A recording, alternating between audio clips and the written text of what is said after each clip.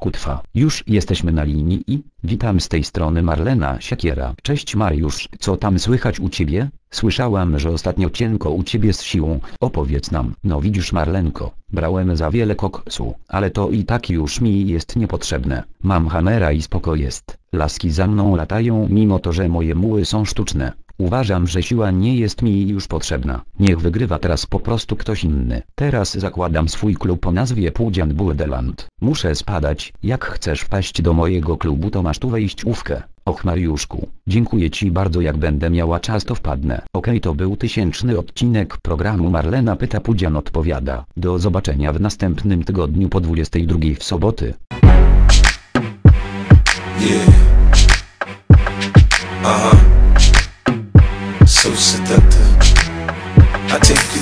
90s.